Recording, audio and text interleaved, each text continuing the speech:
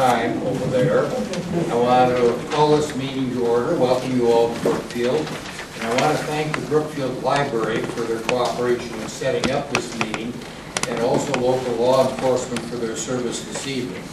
The library closes at 9 o'clock, and we need to wrap up this meeting no later than 8:45 PM, you know, which means that we have to have this room vacated by 8:45. I appreciate the opportunity to hear your concerns. In fact, in 2017, I held 115 public meetings, and I've logged about 50 so far this year. You may have heard that some of these meetings have become very contentious. So I want to be sure to review the rules that we need to adhere to so that we can have an orderly environment in which to exchange ideas. First, I ask that you all sign in with my staff. If you would like an opportunity to speak, you need to check the speaking box that appears in the sign-up slips. That way I'll know to call on you during the first part of this meeting. I will give giving priority to those of you who reside in Brookfield, and then if time permits, I will continue to call on residents of the 5th Congressional District. If additional time is available, I will call on those who don't reside in the 5th District. I expect participants to be respectful and to allow the person who is recognized and has the floor the opportunity to speak without interruption, as well as when I respond to each comment. Further, if the question you would like to ask or the comment that you would like to make has already been made, just say so and then please uh, refrain from asking it again. We should try to hear from as many of you as we can on as many issues as we can within the time constraints. If at any time participants become rude or disruptive, I will immediately adjourn the meeting because there is nothing positive to be gained from continuing with a meeting that is disorderly. We can all agree without becoming disagreeable. Signs are okay in this room as long as they are neither disruptive nor obstructive. The second portion of the meeting will be devoted to those of you who seek my help with personal problems they're experiencing with the federal government. This part of the meeting is an opportunity for us to have a one-on-one private conversation, and is not the time to continue discussions from the general part of the meeting. A lot of this has to do with people who have problems with VA medical. And, you know, if there's anything that should be private, if somebody talking about their medical issues and their problems that they're having with a government agency. So as a result, any filming or recording is prohibited during this part of the meeting. First part of the meeting will run through about 8:20, and then we'll get to the one-on-one personal problems time. All of that being said, first up in the general issues part of the meeting is Laurel Malone of Ruby Lane in Brookfield. Ms. Malone. I'd like to thank you for representing me and the laws of my country. And I would like to say that America is a nation of laws. If we no longer follow our laws, we are no longer a nation. Thank you very much. Okay, thank you. Andy Arndt, Woodmore Lane in Brookfield. Congressman Sensenbrenner, thank you very much for coming to Brookfield. I know you do that often. Can you tell me how the tax cuts are helping businesses in our district? Would you repeat that, please? I didn't hear it. Can you tell me how tax cuts are helping our businesses in your district? Well, you know, the answer is the tax cut means that you get to spend more of your money rather than my colleagues and me deciding what's best on how to spend your money. Uh, When you put more money in people's pockets, uh, there's more spending that goes on. Uh, The people where the money is spent uh, end up being able to expand their business and hire more people. And I can say specifically uh, with respect to the corporate tax rate cuts, uh, this is keeping business in the United States and attracting business uh, that left the United States to come back home. Uh, We had the highest corporate tax rate in the world of any industrialized country prior to the signing of the tax cut bill.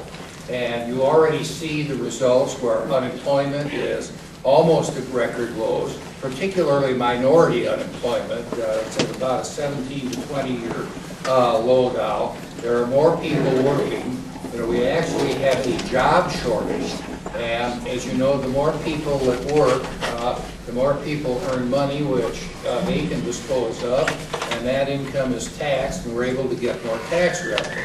Now, there are a lot of people that seem to think that tax cuts, you know, are a Republican idea.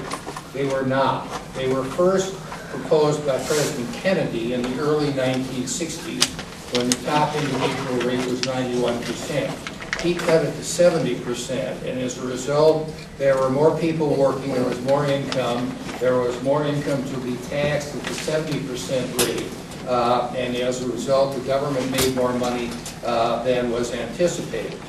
The second thing is, is that when President Reagan did his tax cuts in the 80s, during the 10 years after the tax cuts became effective, uh, the total collections by the IRS of individual income taxes doubled in those 10 years.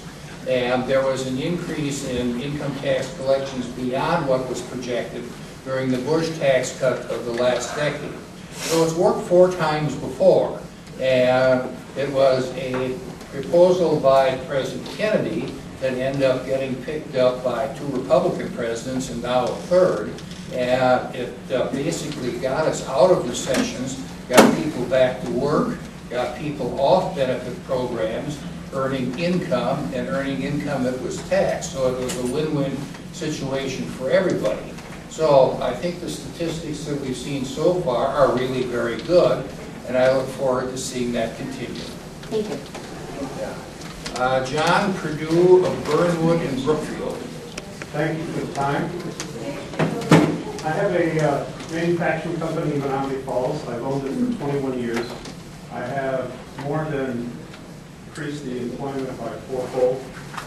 Uh, We make industrial control products, all solid-state electronics, stuff, circuit boards, using resistors, capacitors, all that heat electronics. Tomorrow uh, is a Trump tariff that will be putting a 25% increase on every component that I buy. I estimate it will cost me $500,000. And if I can't get my customers to accept a 7 to 8% price increase for absolutely no reason at all, and lose that much money, those employees that I have, I'll have to start letting go, I will be cutting salaries, I will be eliminating profit sharing, I'll be looking at eliminating uh, my 75% that I pay for healthcare. I have two questions for you. Number one, what happened to the three equal branches of government? Where you guys balances on one guy making his own mind up. And the second part of the question is, what are you guys going to do about it? Okay, I'll answer both of them. Thank you. First of all, before I got to Congress, the legislative branch gave the exclusive authority to set tariffs, increase them, decrease them, get rid of them, to the President of the United States. That was something that Congress gave away one of its powers. That was a mistake, in my opinion, but that's what the law is today. The second question is that we will do what we can. You know, I was one of 101 Republican congressmen that wrote the president opposing his tariff proposals. I am against his tariff proposals. Can you change it? Can your Republican colleagues who uh, control... Can I get to that, please? Okay. Okay. I am, you know, against his tariff proposals. We can change it, but we would need to change it by passing a bill. Now, you know, I'm practical, and if you pass a bill, it goes before the president, and you know he will veto it. There are not the votes to override a veto. You know, I think that Bush lost none when there was a Republican Congress, and eight during his last two years when there was a Democratic Congress. Obama lost only one in his whole eight years. So from a practical standpoint, the president will have an upper hand against Congress simply because there are votes that will vote to sustain the veto. I would vote to override a veto if that bill got to his desk, because I know what the impact is of retaliatory tariffs when we slap tariffs on another country. And your industry is one of many that are going to be hit. You know, farmers are probably going to be hit uh, the worst, you know, of all of them. You know, all of that being said, what can be done that's practical?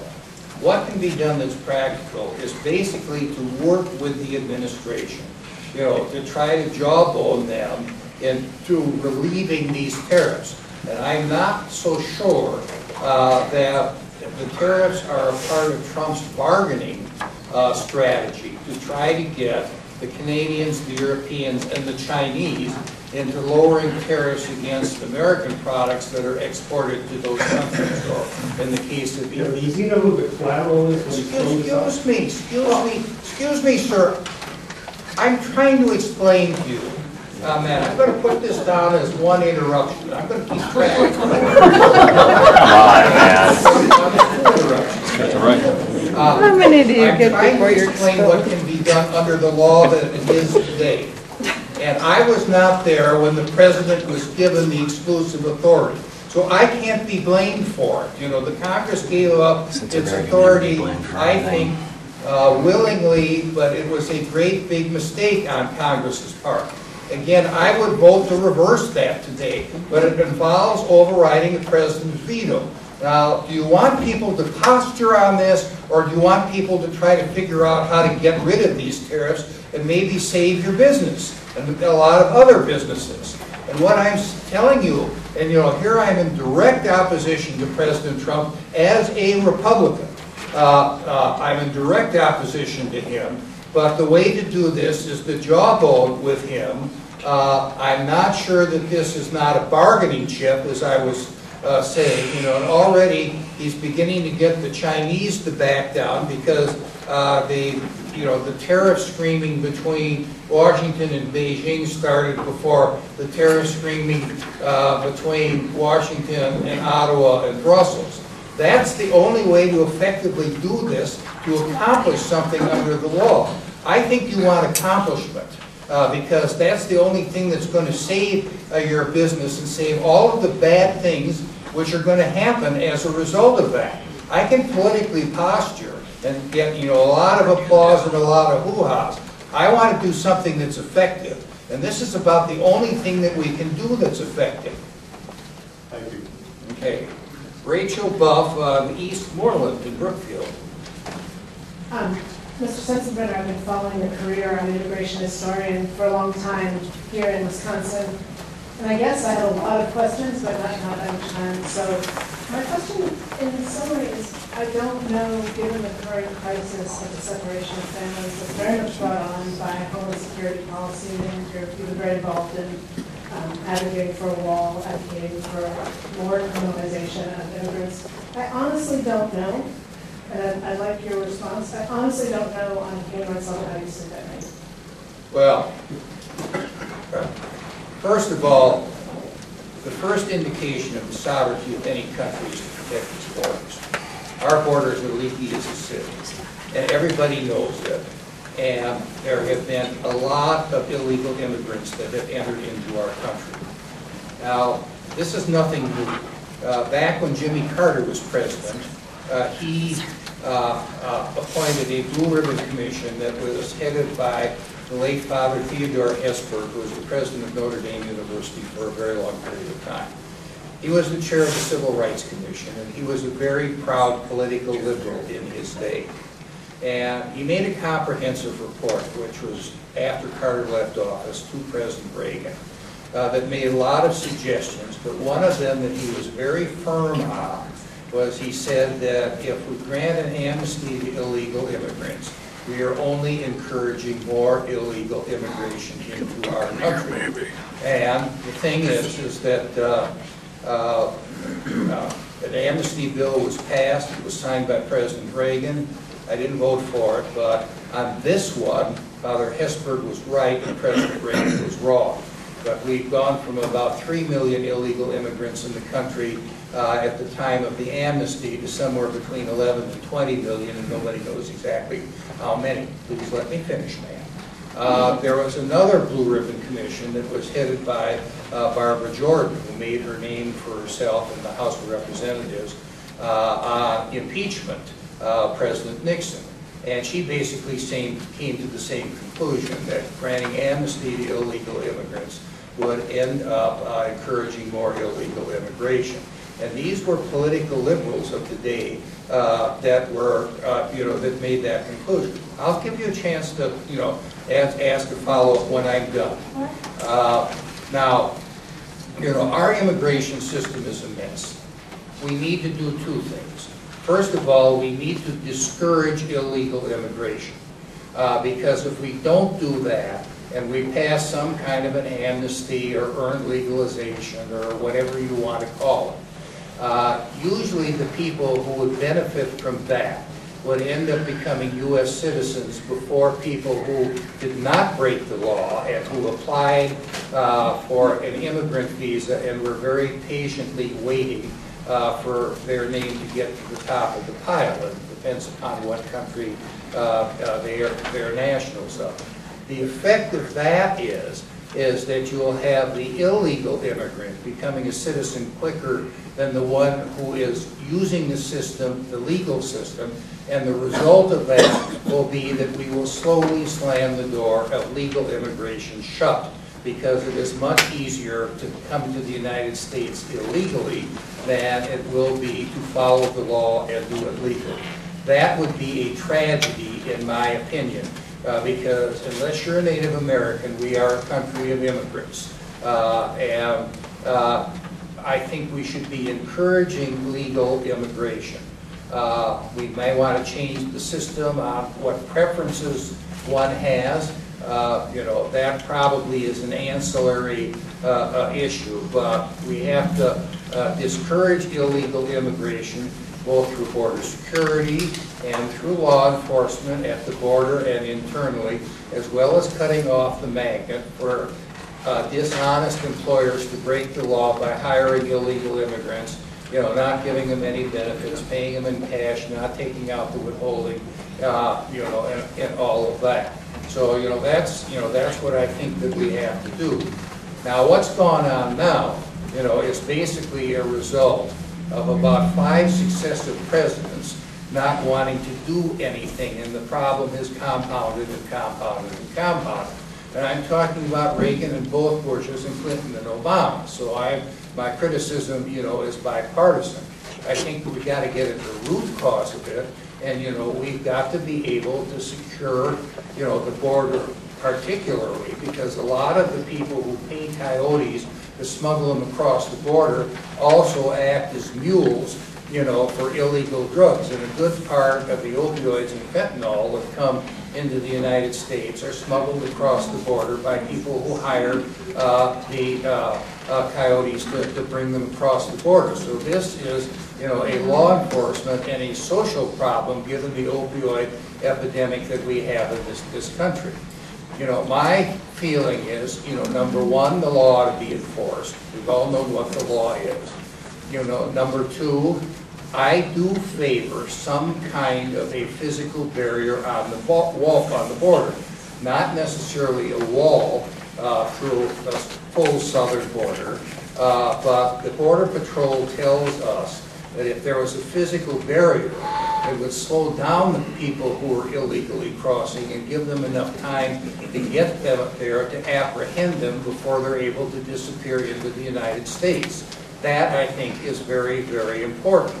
The other thing that, I- in my opinion, needs to be done is that the Mexican government needs to secure their southern border because a lot of the people who are here and detained, including 10,000 kids, separated from their families while they were still in Central America and came as unaccompanied minors through Mexico and across the border.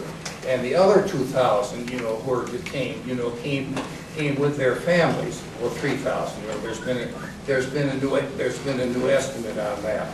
Uh, You know, while the new president of Mexico, you know, uh, ran as a very proud leftist, his words, not mine. One of the parts of his platform was that he was going to secure the southern border of Mexico to prevent all of this from happening.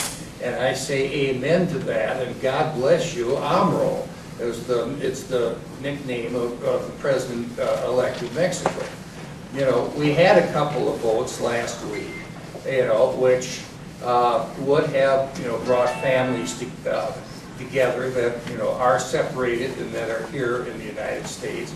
We've got a problem with a a judge's ruling, you know, that, you know, uh, says that families have to be brought together, but there's another judge's ruling that says you cannot detain, you know, a juvenile in a federal detention facility, not necessarily to prison, uh, while their parents, you know, are being held waiting for, uh, you know, their cases to be adjudicated. We're gonna have to work that out, uh, on that, you know, unfortunately, we weren't able to. But I said since last October that Republicans who have opposed, you know, doing anything with the DACA kids, uh, except put them up for deport, deport, deportation, you know, have compromised and said, you know, we'll, you know, do something to keep the DACA kids here. So this is a a cave, if you will, on the part of the Republicans. Uh, Trump says that that has got to go along with the wall for him to sign the bill, or the uh, physical, physical barriers. The Democrats have not caved. They have rejected, you know, every type of compromise that has DACA and the physical barrier in the same bill, and as a result, nothing is passed.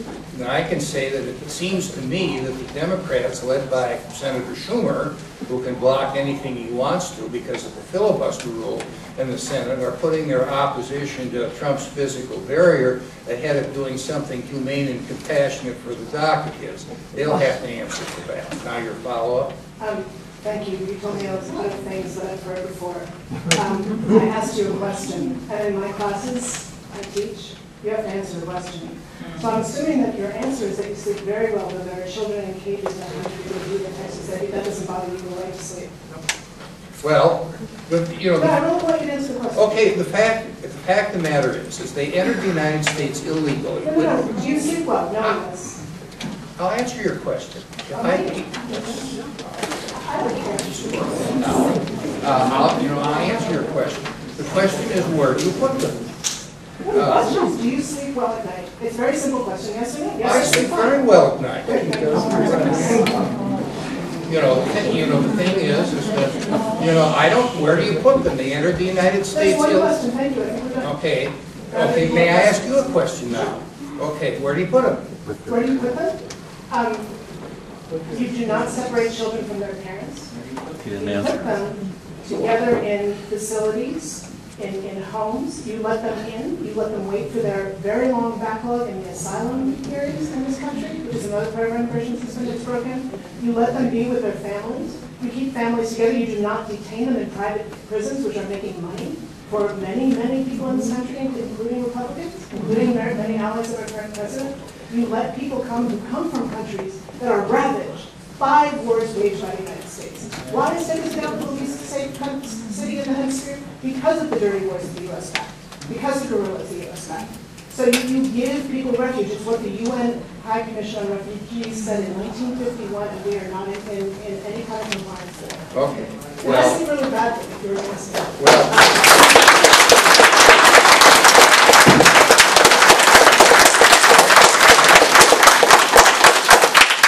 when we had catch and release, over ninety-five percent of the people who were ordered to appear before a judge did not show up. And the judge issued a call to, excuse me, number four. Uh, Make it number five. Okay, I'll be. Um, You know, ninety-five percent of the people did not show up. And, you know, there, there was a default deportation order that was entered by the judge. And uh, that got put in the computer, and when somebody was pulled over on a traffic stop, you know, the fact that there was what amounted to a bench warrant pending against them, uh, had the driver of the car, whether full of kids or not full of kids, taken to custody by the officer and returned to the court that ordered the appearance. Now, this would happen to any of us as United States citizens or permanent resident aliens. If we got a traffic citation and we didn't either pay the fine or we didn't show up in court on the return date that was on the citation that the officer handed us, we could be driving down the road and there would be a bench warrant that would be issued by uh, the judge. And uh, if we were pulled over in a traffic stop, we would be taken into custody and returned to the court. Now, why should somebody who blew off a court appearance before an immigration judge be treated any better than a United States citizen who blew off, you know, a, a traffic citation and didn't pay the fine and didn't show up in court when they were supposed to. It's the same process. I believe in equal justice under the law. What you do by giving preference to illegal immigrants that blow off court dates is unequal justice. They get better justice than Americans do, and that's not right.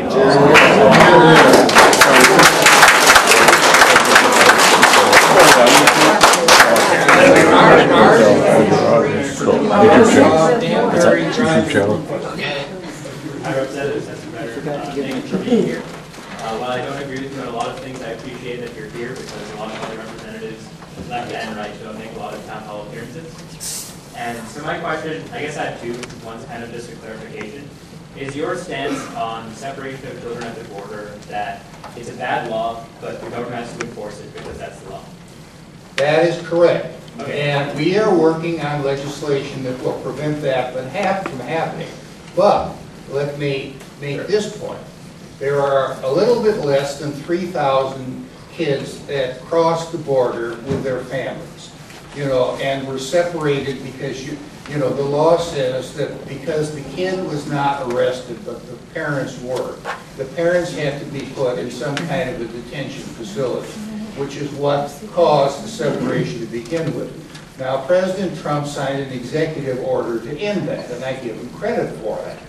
The other question I have is, how about the ten thousand, you know, that are in custody at the border, who voluntarily separated from their families in Central America, and then were brought through Mexico and across the border by coyotes.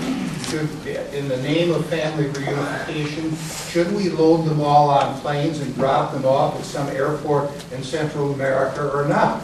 And, you know, there's, you know, there's a lack of consistency on both sides, you know. I, you know, I take the position that we shouldn't drop them all off, uh, uh, fly it back and drop them all off. But, you know, to be consistent that all kids should be reunited with their families. The ten thousand that voluntarily separated from their families, maybe they shouldn't be treated any differently than the ones that stayed with their families and were involuntarily separated after they uh, got into the United States.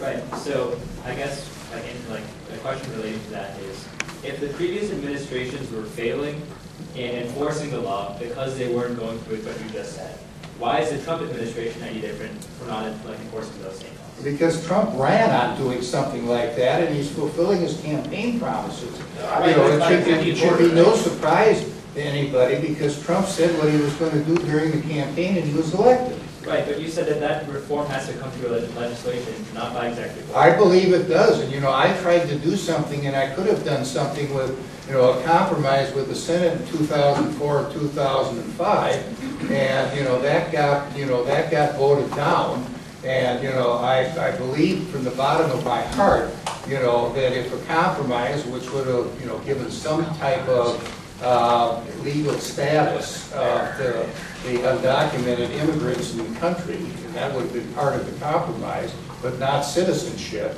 you know, had become law, we would not be talking about this issue today. But there are always some that wanted to make the perfect the enemy of the good. My legislation failed, and we're all here today talking about issues which really haven't changed very much over the last 13 years. Sure, and if I, if I may just have one more question. Sure. In response to that. Um, So I understand, um, like, your efforts to compromise and other people's efforts to compromise. But if the argument can be applied to other administrations that there should not be this executive ability to choose which laws are to be enforced, why is the Trump administration any different when it's not choosing to enforce some laws and choosing to enforce some laws in regard to this immigration problem? Well, uh, you know, first, first of all, the Congress does not enforce any laws, you know, that's not our shtick under the Constitution. You know, it's up to the president, you know, and it's up to the attorney general, you know, who is the chief law enforcement officer of the country, you know, to decide where to use uh, uh, the resources that Congress has given them through appropriations uh, in, you know, in the the best possible manner. Uh, And, you know, I can tell you that when I was trying to reach some kind of a compromise, the current Attorney General as United States Senator from Alabama wasn't very helpful. So, sorry, I- if, if I finish. Go ahead. Okay, so if, if there isn't any problem with the current administration choosing to reunite the families, why is there any problem with any of the way the previous administration enforced the same law? Well, uh, you know, what I can say is the detention facilities for juveniles, most of whom were unaccompanied, you know, that was set up by the Obama administration. Uh, What has changed, uh, you know, is that there are now uh, juveniles uh, that are accompanied by their parents, you know, and that's why, you know, we end up, uh, you know, having the, the debate on that. Now, I'm not so sure that Trump's executive order is constitutional, and I think that means that it is incumbent upon uh, Congress, when we get back there next week, uh, to come up with something to protect the families. Uh, You know, however, you've got these two court decisions, uh, you know, that basically say that uh, uh, that juveniles can be detained, you know, only for 20 or 30 days uh, on that, you know. So this is not as easy as just passing a law that says ICE and the Border Patrol shall not split families apart because there are court decisions. Thank you very much. Uh, Reverend Suzelle Leach of Brookfield. Hello, Mr. Sensenbrenner. I'm the pastor of Unitarian Universalist Church West, just over here on North Avenue. And am here with my congregation of 600 adults, children, and youth, quietly behind me. Um, I am deeply concerned about the separation of families at the border.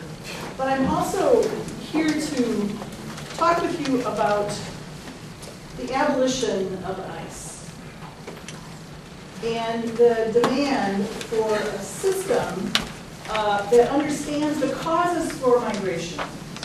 Does, do you understand why people migrate? Why are people coming across our borders? Well, of course, because the standard of living in the United States is better than most places other than in the world. And we can't take everybody here. That's, that's the problem. Is that your only understanding of why people migrate? Um, You know, there's civil wars in places.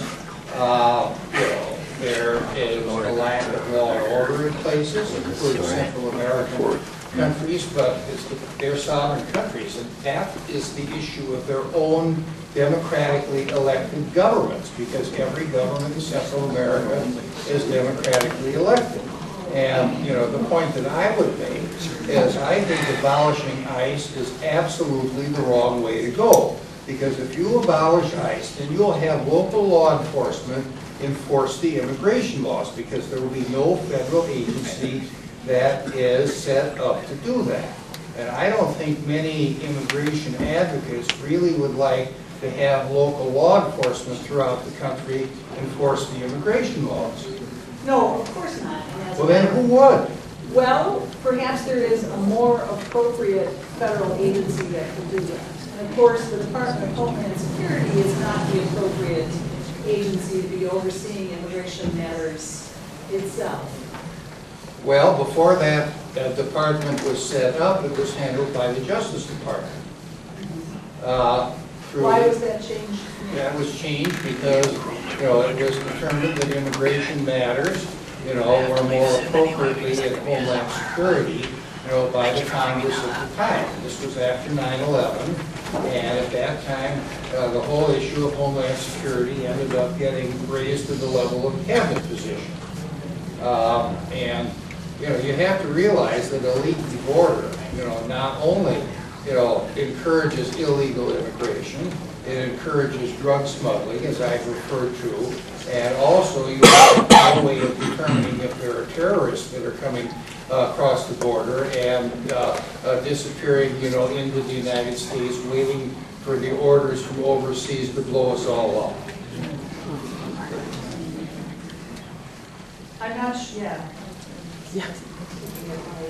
One of my fellow Brookfieldians here. Um, It seems to me there's an awful lot of difference in the way that we look at terrorism these days.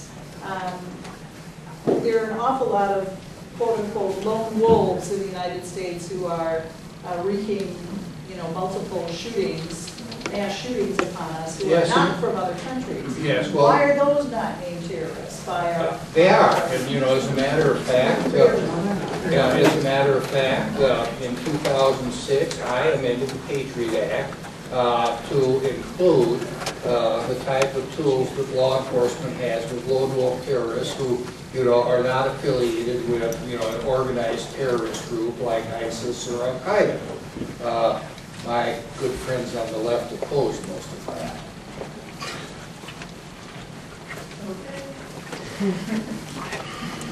Mary Roth, Beaumont Avenue in Brookfield. Hi. Um, I've lived in Brookfield for 17 years. Um, I'm also uh, a fellow UW Law grad like you. I graduated from law school 23 years ago. Um, But I've taken a very different path than you did. When I graduated, I got out and I started working. And I didn't take the highest.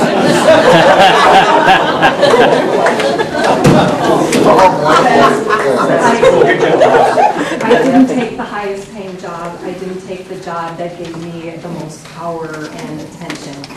I started working at a small firm and I started working with the people. And then I went to the police academy because I had been a prosecutor and I thought I could help people better as a police officer. And that was great. And then I started working for corporations and I saw all the greed and how they mistreated their employees. And then I started working for myself. And I went to grad school and I studied economic development and I studied um, planning in the city. And now I work for myself. I speak three languages and I help a lot of immigrants and people who are hurt by the current policy of immigration and your so-called tax cuts that hasn't helped any of the people who are lower class or middle class. And they will not help anyone like that. I'm appalled by your president and how he treats women. I'm appalled by your president and how racist he is, and I, I'm gonna say it, he's racist. And I'm appalled.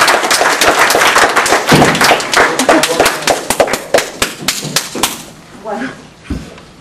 And I'm appalled that people don't stand up to to him.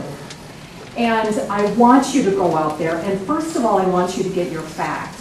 Because with my experience going out there and talking with people and helping people and meeting people, my personal experiences with immigrants and people who are lower economic level, my experience is completely different than what you're saying is the fact. So I would encourage you to go out there and meet people and talk with people and research and get the facts before you stand up to Trump. And I want you to stand up to Trump. I want you to tell him that people see through all of his lies and people see through all of his bullying and we want him to stop. So please talk it up.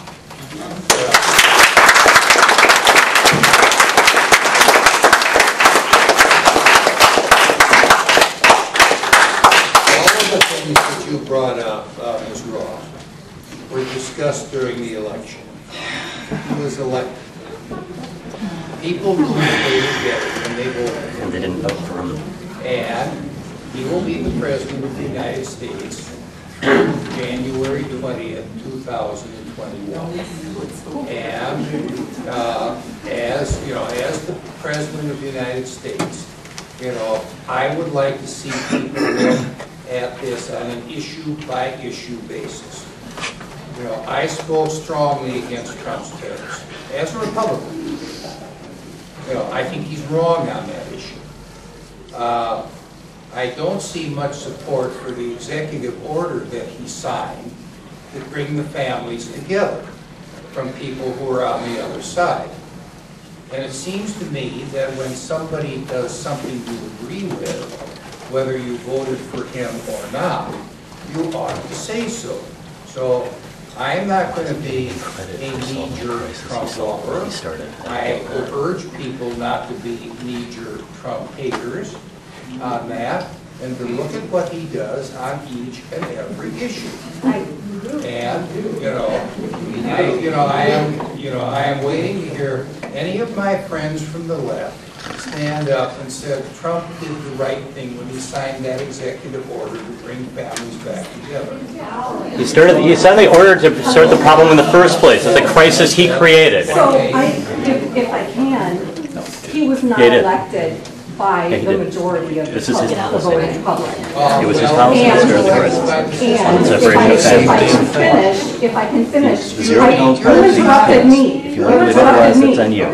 But it was So his. I also believe that with the investigations and all the indictments, there is clear evidence that he had help from a foreign government. Yes, he did. And he acted improperly and corruptly. As a fellow attorney, I imagine you respect the law, and I'm sure as you are following things unfolding, you are appalled by what he has done and what the process is uncovering, and what your colleagues are trying to do away with. Okay, let me respond this way. Mr. Mueller has had over a year to investigate. He's handed down some indictments. None of them have to do with the Trump campaign in cahoots with the Russians. Not one. At all. With all due respect, you are insolent. Now, uh, this is about the eighth interruption, because I'm keeping track of you. And my, you know, I asked you in the beginning. I know. be Respectful to people who have opposite opinions than you, including me. And I would repeat that again. I do not want to adjourn this meeting early before eight twenty. But if this keeps on going on, I'm going to have no uh, alternative but to do that. So, you know, remember, we can disagree without being disagreeable. This is not uh, a meeting on who can yell the loudest, or who can applaud the most, or who interrupts whom. This is a meeting where we're supposed to discuss issues, many of which are conflicting. And I ask for your respect. Next up is Linda Boucher of Kevin Hour Drive in Brookfield. I was wondering, what means are we taking to ensure there is monitoring for disease control and viruses, um, and possible outbreaks? Because we're people from Ellis Island, that was a thing that was really taken care of. That was my first question, and I have one other question. My understanding is that people who cross the border, you know, are kind of given a basic medical uh, review to see if they have any communicable diseases, just like when immigrants came uh, to Ellis Island. And, You know, most of that was whether you had TB or headlights. And if the answer was no, then you were fine. So we're checking medically. Yeah. Okay, thank you. Um, and then my next question is, um, what are your ideas and suggestions for funding and for the improvement of the infrastructure, the roads, the bridges?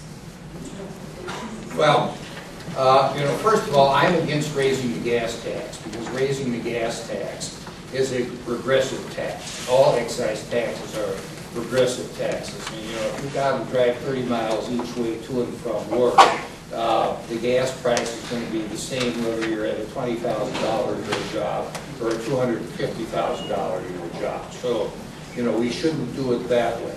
Uh, uh, A lot of the roads are financed by states. You know, I don't like the federal highway fund because usually Wisconsin gets back less than we send to Washington. And I have voted to do away with it and the eighteen percent federal, or eighteen point three cent federal gasoline tax. Let us collect it as a state tax and that way we can be sure to spend all of it here. Uh, The president is talking about public-private partnerships.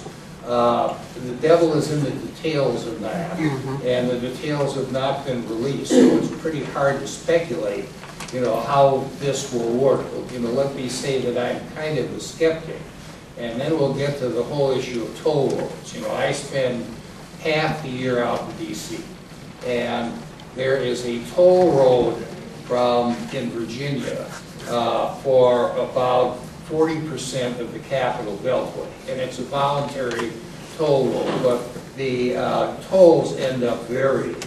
And then Highway sixty-six, which is the main road from the area south of Dulles Airport into DC uh, between 6 and 9:30 in the morning is all told. You can't go on that free.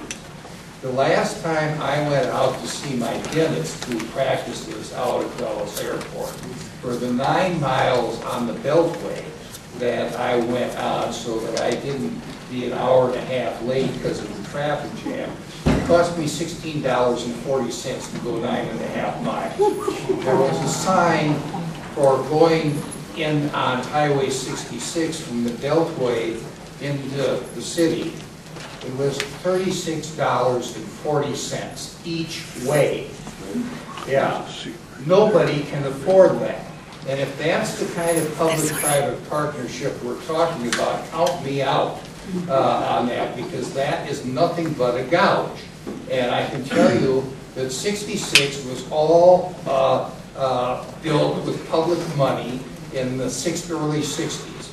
The Beltway was mostly built with public money about the same period of time.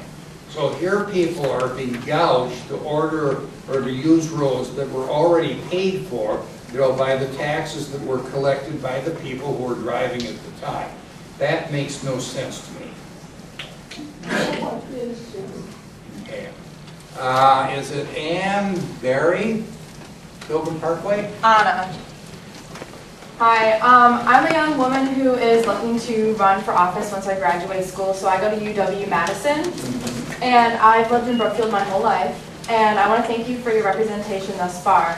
But looking forward and working in politics now, I work for um, Representative Chris Taylor, and I've also worked with um, Mark Pocan, lots of other Democrats. And one thing I know progressive politics is really strong with is knowing when to step down for a new champion. Somebody who, you know, knows more, is more understanding of their constituents, doesn't bang the gavel when there's applause for something that one of your constituents says and really means and is concerned about. Um, so when is it that time for you? You know, you've served 40 years, you know, you got your cane. When is it time for you to step down and make room for somebody new?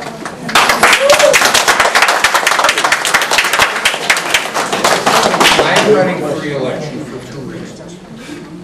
One is, is that I was the principal House author of the comprehensive opioid treatment bill. Uh, That's something that we all ought to be for, uh, whether you're progressive or conservative. We need to do two things. We need to fund it, and it's not permanently funded. You need to tweak it, uh, because there's some things that didn't hit the mark, you know, directly. And the other thing, which I've introduced a bill, which should be coming up in the House later this month, is to criminalize fentanyl analogs. Yes. You know, fentanyl is much more uh, uh, lethal than heroin is. The fentanyl analogs are more lethal than the fentanyl. I'm very familiar with it. I work on Tammy Baldwin's campaign. Yeah, okay, well, that's fine, but most people here are not. Now, I'm the author of the bill, I'm the author of the bill that will criminalize them and make them a scheduled narcotic, you know, like fentanyl. Fentanyl is used medically with a prescription to treat terminal cancer patients because it is good at, at dealing with pain. The second thing that I've spent quite a bit of time on for the last year and a half, and I get more support from progressives rather than conservatives, is prison reform. And, uh, the, you know, and prison reform requires three things, in my opinion. First of all, we ought to give vocational training to people who are in prison so they have a marketable skill when they get out. Secondly, we need a second chance program, and I was the author of the Second Chance Act, which is up for reauthorization, uh, to make sure that we can do our best to prevent them from repeat offending and going right back into jail. Oh, the Second Chance Act basically means uh, that they don't hang out with the people who got them into trouble to begin with. And the third thing, because of the way the mandatory minimum penalties work, uh, there are people that might have a grain of a controlled substance more that get a mandatory penalty when they're not doing any kind of narcotics trafficking or pushing. And if they have a grain less of that when they get arrested by the police, you know, then they you know, then they do not get a mandatory minimum. And in order to do that, you know, we need to have a probation program that works. Uh, And a lot of probation programs in many parts of the country today, you know, are uh, uh, calling in from your favorite drug house to your probation officer, you know, to say that you're behaving yourself, quotes unquote, so you're around behaving yourself. You know, I worked for a year and a half with uh, Representative Bobby Scott, who is an African-American Democrat from Virginia, that came up with, I think, a comprehensive plan that was revenue neutral uh, on it. You know, the money that we would save, you know, from not incarcerating nonviolent people who are not trafficking in drugs could pay for uh, the uh, vocational training in prison and the second chance program. So this isn't anything that would be a big drain on the taxpayers. And I want to get that through, and that's why I'm running again. And Do you not both of think these that things are things that progressives ought to be uh, uh, kind of in favor of, and I'm the one Republican that's been, you know, sticking my neck out on this. Do you not think that a progressive leader could emerge in your position and do that exact job that you just said, where you want to support all these progressive values? Tammy Baldwin, she failed. No. She Uh, failed. Now, Oh, Give her a check. Oh, it's a check mark. Okay, check mark. okay. Okay. uh, Failed at You what? know, you know, let me say, know, that somebody, you know, a freshman is not going to be able, to be able to put together the coalitions to get that done, because this is very difficult. Somebody with experience and an institutional knowledge. I've been asked to run, actually, like locally in Madison, so I have a lot of experience in the political Yeah, world, and I work with many people know, who have okay, a lot more than I'm talking about the United States Congress, and the United States Congress, Mark. You know, okay, well, he's been very helpful, either, so. He actually just authored a bill to try and abolish ICE. So, I mean, I think he's moving in the right direction. Yep. Tell Well, if Yep. Pocan wants to apologize, Yeah. maybe he should ask who would be enforcing the immigration laws inside the U.S. With no ICE, there will be the local police doing that, and I've been involved in the immigration issue long enough. Good. Most immigration advocates do not want the local police to do that. I think the local police are just fine and be be able to do that, but I think when that issue comes up to many people in this room, uh, they will be having second thoughts of abolishing ICE. But it does look good on a bumper sticker. Uh, Ravina uh, Sakdev, uh, Ridgeway Road in Brookfield. Hi, uh, Representative Senator. Thank you for connecting with your constituents. It's so important um, in, a, in a polarized nation. Fact that uh, you're here is really meaningful. Thank you for that. So I go to Brookfield Central, which is right here. Uh, I really like it there, but there's kind of a lingering fear in the back of my mind about a potential intruder. Uh, we're less than 30 weeks into 2018. There's been about 23 reported school shootings. Um, and records indicate that you voted yes on a bill to reduce the waiting period of buying a gun from three days to one day. I was just curious about your rationale on that. Well, you know, fir, you know, first of all, waiting periods do not necessarily, uh, you know, do not necessarily solve the problem. What we do need to do, and I don't recall voting for that bill, you know, I did vote for the Brady bill in uh, the early uh, decade of the 90s, you know, and I was a co-sponsor of that bill, and that had a five-day waiting period. But the waiting period sunsetted when the instant check system ended up being up and running. It took about five years to be able to do that. I was the one who was insistent that the instant check system uh, be put in uh, to our uh, national firearms laws. Because for 80 years, it has been illegal for anybody with either a felony conviction or uh, a a mental incompetency adjudication uh, to buy or possess or attempt to buy or attempt to possess any type of firearm whatsoever, no exceptions at all. And putting that database in the instant check system, you know, will, you know, allow, you know, a gun dealer to be able to determine, you know, whether or not somebody has uh, got that kind of a record and is thus uh, not able to legally purchase a firearm. And I can say that since it was up and running, there were 4.7 million sales that were stopped, you know, by uh, the uh, instant check system. And again, you know, I claim to be the father of the instant check system uh, because I was able to get people who said waiting periods are everything, or no, we should never do any checking and people, you know, who, you know, can't legally own firearms. And I will say that people who have had domestic violence, uh, restraining orders entered against them have been added to the instant check system. What was done at the end of last year was that we provided a quarter of a billion dollars to put data into the instant check system, either from jurisdictions that have refused to do so or the military, because they said the court-martial uh, decisions, you know, were not the same type as in any type of a civilian court. Well, you know, a bunch of bunk in terms of the danger. I support something that is controversial that uh, uh, Senator Rubio has proposed, you know, that allows uh, someone who has shown a, uh, a mental proclivity to injure themselves or injure somebody else, but has not yet injured anybody else.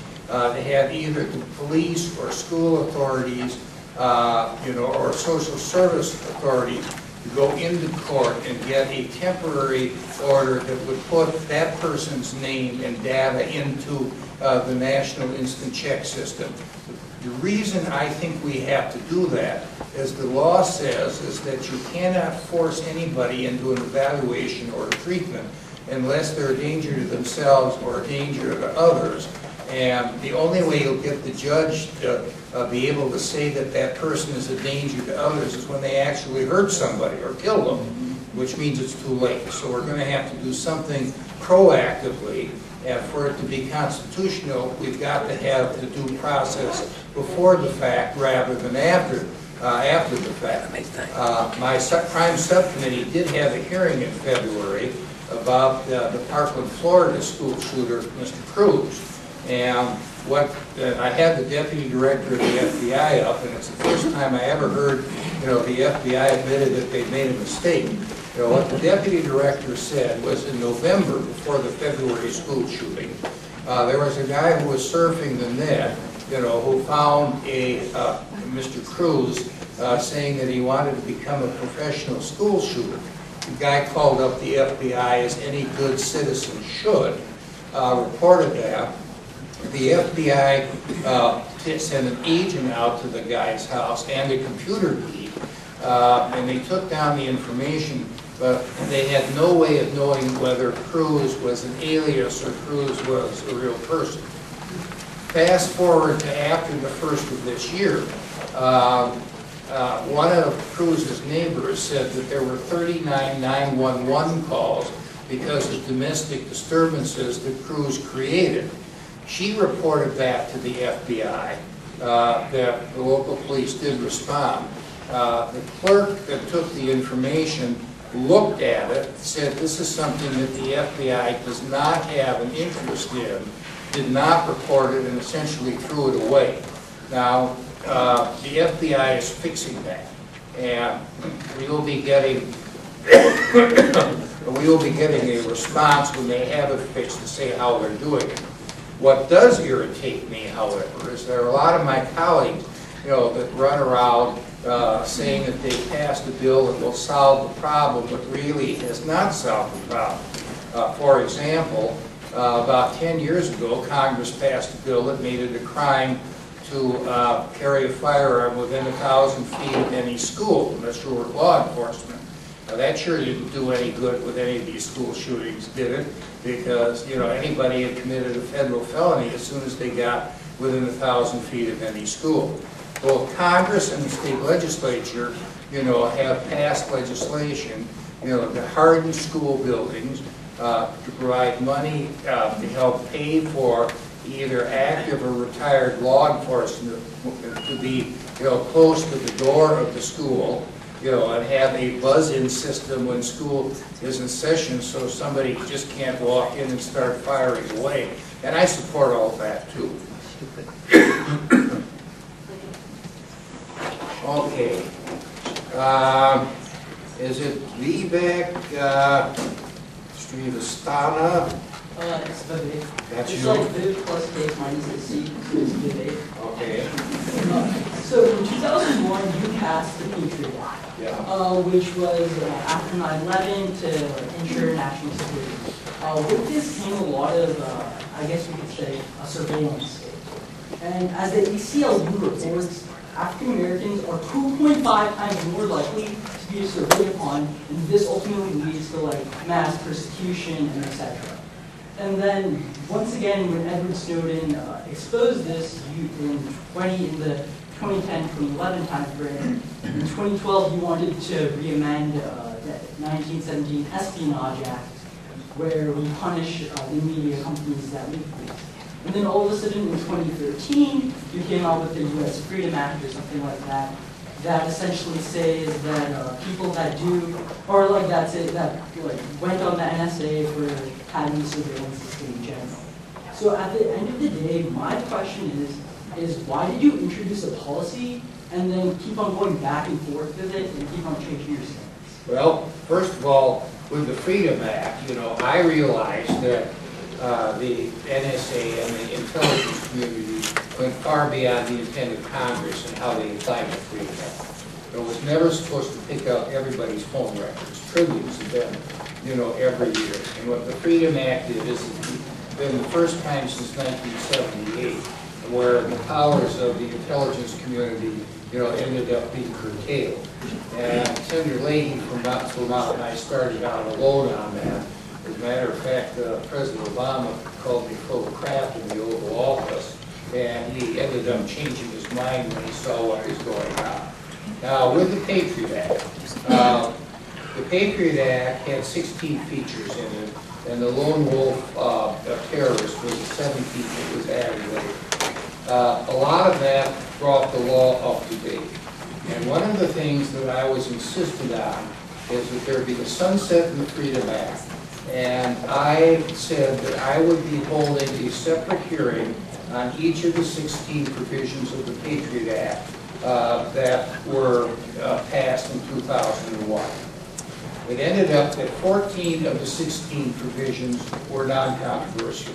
And the ACLU even testified, you know, in favor of a lot of them. One of them, for example, was it busted down the wall where the CIA and the FBI couldn't talk to each other, which was one of the reasons why uh, uh, we couldn't connect the dots and 9/11 happened.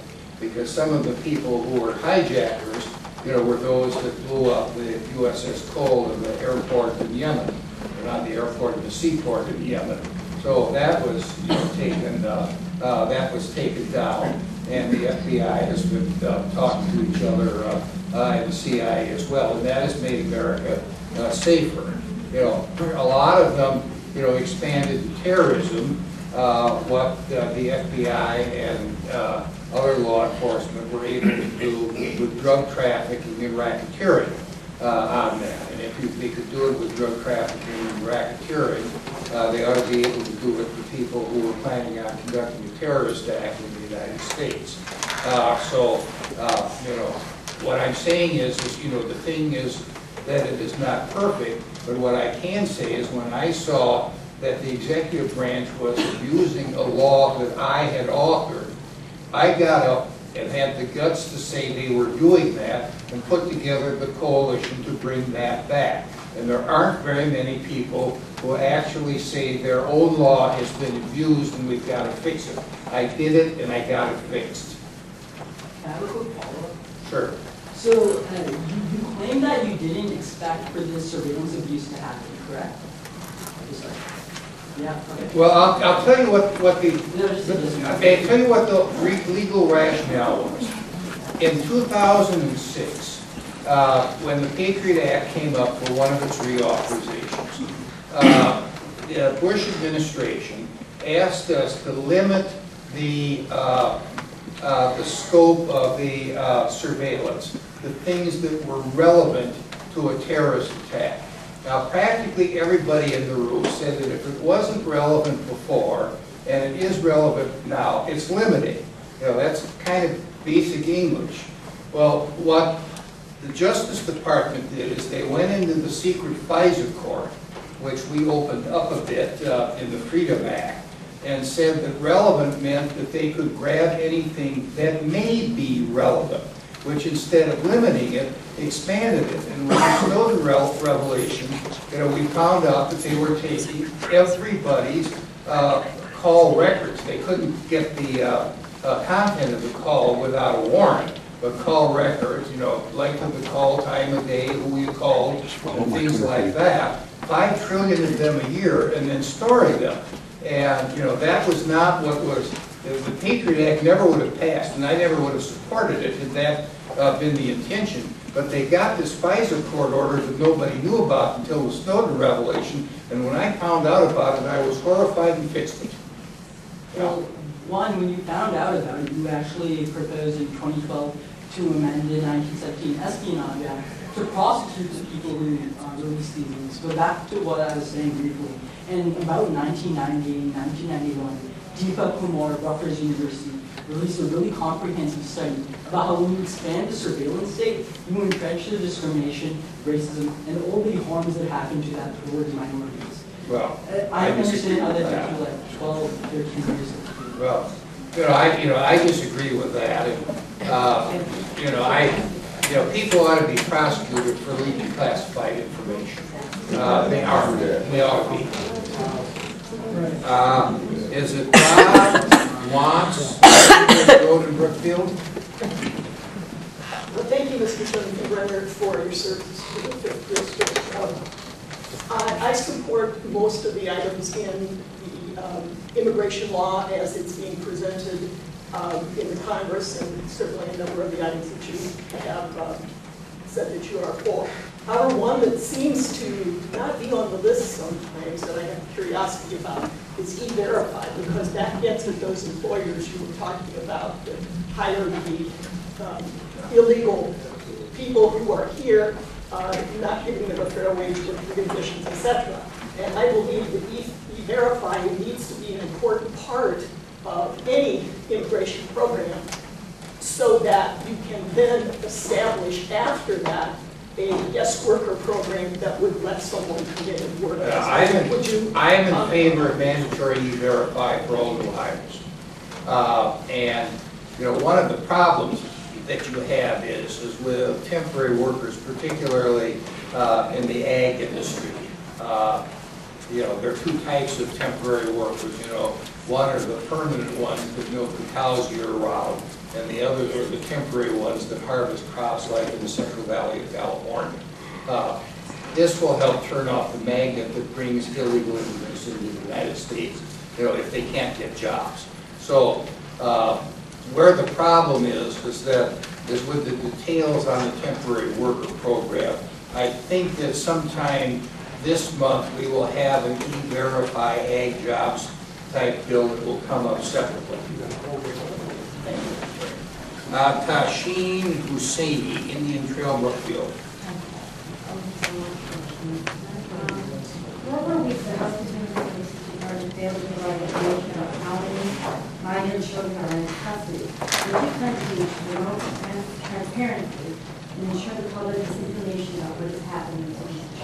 Uh, uh, Secretary Azar, you know, appeared before a Senate committee and promised that, and uh, I believe today, or maybe before the close of business on the 3rd, uh, the number of alien children in custody ended up being increased from 2,000 to a little bit less than 3,000. So that's, you know, that's what's happening.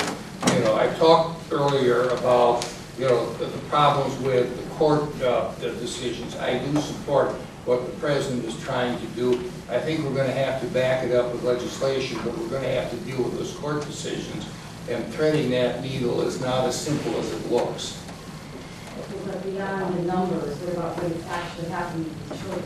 And the mother, I mean, that's a great concern to all of us, what is going on. Yeah, and, and, and, and you know, I, and you know, I agree with that. Uh, One of the things that Trump did was rather than having the asylum applications be heard in a first in, first out uh, matter by an asylum officer and an immigration judge, he's now turned it into last in, first out. So the new arrivals get close to the top of the list, and that means that the people will have their day in court, you know, making a determination on uh, uh, whether or not they qualify for asylum under our laws.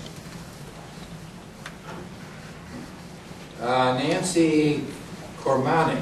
Yes, um, thank you, Congressman Cleveland. I just want, just to, if you could clarify things just a little bit more, just to piggybacking that young gentleman's comments about, you know, immigration. but, uh, The, the individuals that are coming here through a port of entry, Mm-hmm. right now, those individuals can seek asylum Yes.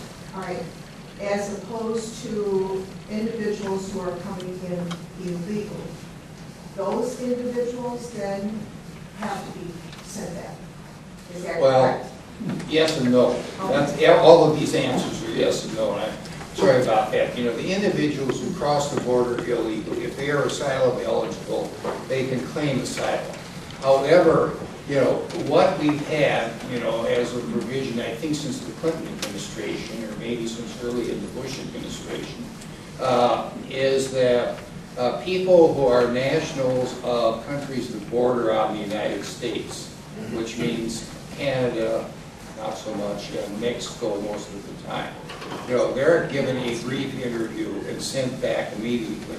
It's the other than Mexicans or the OTMs, you know, that have to go through a more elaborate process.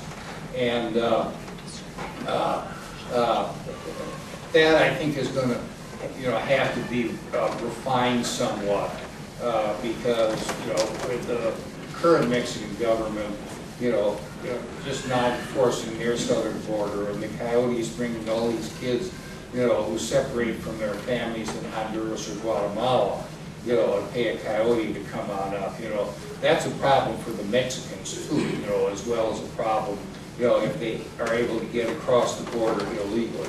So there's gonna have to be some kind of change in the OT, OTM policy, but, you know, I do give a lot of credit to uh, Lopez Obrador, uh, uh, uh, the new, uh, newly elected president of Mexico, you know, saying that he wants to enforce his southern border, because that will solve a lot of his problems and a lot of our problems. Uh, Michael Clayson, Estate Lane Brookfield. Congressman, um, when I came tonight, I was going to bring up the issue of the children being separated. I was very disappointed to hear that you're sleeping well, because I personally have not been sleeping well. Exactly. When I saw the reports what our country. But I want to move on to the second issue, because that one has been talked about. Um, I was interested by your comments regarding the young gentleman's talk about the Patriot Act and your um, And I do understand your involvement with the Patriot Act and the fact that you did fix it by, once the revelations were made about the extent of the collection of data. However, I do agree, it seems a little incongruous that you were really truly upset about what was taking place, but then yet, did I hear you right to say that you still feel it's bad that people made that information available to the public? Mm-hmm. That Mr. I Snowden- I haven't said, you know, anything. Well, it is your position. Were you I haven't said upset- anything about the Snowden leaks. You know, the Snowden Then what leaks is were your very position on the- informative. What is, they they were informative? Mm-hmm. That is your position that the Snowden leaks were informative? That's right. Okay. I hope they So- were to you too. They were. Okay. All right, so but informative, does that mean, uh, but you still feel there should be the, the worst punishments for people who have leaked information that shows how damaging the actions of the government have been? The answer to the question is, I think people who are leakers should be prosecuted. And it will be up to the jury to decide whether they're guilty or innocent, and if they're guilty, the judge should sentence them. And that's not the prerogative of Congress.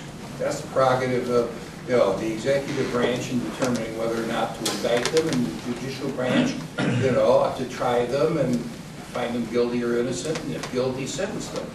What's your position on the information that Mr. Snowden gave? Mr. Snowden gave information. I got the information and showed that uh, the law that I sponsored was defective and was not being implemented in the way that I- it should have been. I found out that the secret court completely misinterpreted the word relevant, as I said in response uh, uh, to the earlier question.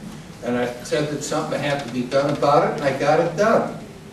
Okay, so if Mr. Snowden comes back to the United States, and if you were part of the jury, what would you judge?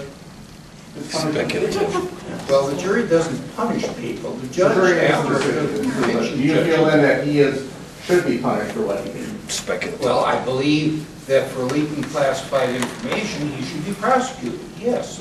Uh, You know, he signed a contract, you know, with the United States government, and he broke the contract. And when people break contracts, should they be able to get away scot-free because they did something that was, quote, socially good, unquote? Do you think when he signed the contract, he realized the information he would find and what a I, travesty I, it was? I have I no don't think- idea, I I have no idea I what's in the man's Disagree mind. with your, your statement about, well, he signed the contract. I'd like to move on to But the he third did. issue. I'd like to move on to the third issue, and guns. You mentioned guns, the young lady who has since left. Uh, And I heard you say that, um, yes, you did, are supportive of instant background checks. Uh, I can't recall what your position is, and if you could tell me, what is your position on expansion of background checks to gun shows and other private types of sales? I'm opposed to uh, uh, expanding background checks to private sales. You know, if a grandfather, you know, wants to give his hunting rifle to his grandson, uh, you know, I think that he should not, you know, have to find out, you know, where his grandson would end up getting cleared uh, under the NICS system. What about gun shows? Gun shows, a lot of those are private sales too. People are not in the business, you know, if they're selling one or two guns, you know, in the business of selling firearms. Okay, so you, you are not in favor of gun shows? I am in favor of anybody who is in the, in trading in firearms for a business being required to clear uh, the uh, sales that are being proposed through the NICS system. 4.7 million of them got stopped. And even the Brady campaign, which is one of the leading groups, said the most effective gun control measure that has been passed in the last 25 years is the NICS system. Thank you. Uh, One last one, before we go to personal problems time, and that's Nancy Glow of Bennington and Brookfield. Yes, thank you. Um, I'm concerned about global warming, unfortunately, it has, become thought of as a liberal issue. That is why I was very encouraged to hear about the Climate Solutions Caucus, a group in the House of Representatives that includes 42 Republican members. And here's my question. Do you see more interest among Republicans in working across the aisle and taking meaning- meaningful action on climate change? if it's done with two things in mind. You know, one is, is that climate change, whatever solution there be, be universal and apply to all countries. And secondly, that it does not result, you know, in the export and outsourcing of American businesses to third world countries. Uh, both the Kyoto Protocol and the Paris Accord, you know, did not apply equally to all countries. It basically gave uh, countries like China and India a get out of jail free card until at least 2030, which is still 12 years, you know, away. Uh, And, you know, it still would have resulted in the outsourcing of American businesses. I think that both of these treaties were skewed against the United States, uh, and I have opposed both of them. Okay, well, the second part of the meeting will be